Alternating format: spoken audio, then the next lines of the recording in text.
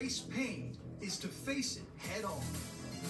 After suffering through the humiliation of a humbling playoff defeat at the hands of Miami one year prior, Milwaukee came back better and stronger, single-minded in their focus.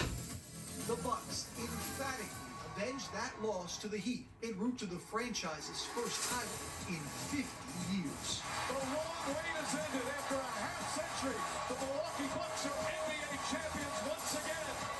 months has given the Heat plenty of time to consider their own sources of motivation, and the season opener provides ample opportunity to extract some measure of revenge. It's not a loss, it's a lesson. So we're a different team than we were last year. Like they was a different team when we played them in the bubble. And a chip will make a monster, like UD says all the time. And he's right. Payback is the only way back. Each season holds meaning, but some are simply more special. Anniversaries are the moments we allow ourselves to reflect and appreciate the accomplishments and progress of the game and its most storied participants. Ten seasons ago, Miami's grand collection of superstars delivered the franchise its second championship and the first for a head coach who has now earned his rightful recognition as one of the game's best. For the first time in a quarter century, the league will honor its past and present in an unprecedented celebration, a game that has amazed and entertained, captivated and compelled, and resiliently crowned the champion for 74 seasons, prepares now for its diamond dance to debut. What better way to celebrate than by inviting the reigning champs?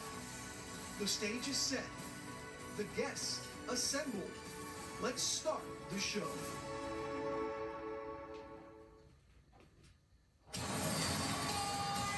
here is your Bally Sports Spotlight presented by Southwest. The legend Pat Riley is the focus of the spotlight tonight. The Heat president has been in the NBA for almost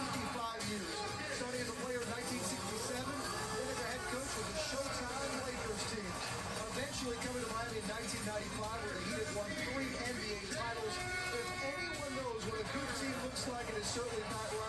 And he said earlier this week he's impressed and looking forward to see the Heat team with a balance the key.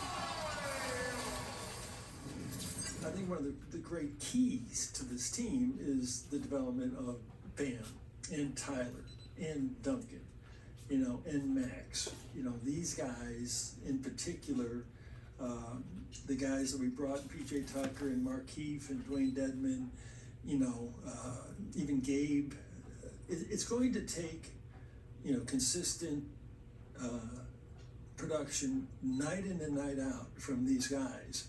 And it ain't going to be on Jimmy and Kyle and Bam to score all the points. I, I think a lot of it might come from from the other guys. We get you to your Lexus starting lineups, we not only show you Miami starters for this opener tonight, but look at the depth that Riley was talking about right there, the balance. So many weapons, so many key players for Erik Spoelstra to go to.